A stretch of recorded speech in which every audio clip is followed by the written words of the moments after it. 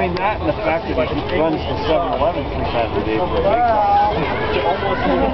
I don't know. You can go. I'm just videoing it. Hamburger. Or hot, no, I'll do a hot dog.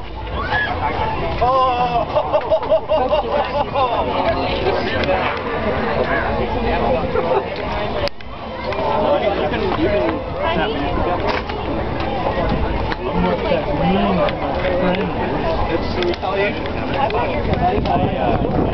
How you been? Good.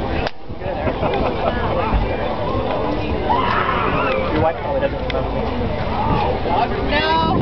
Jill Pilgrim. Oh, yeah, yeah, yeah. Okay.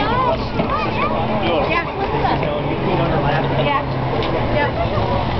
Gross.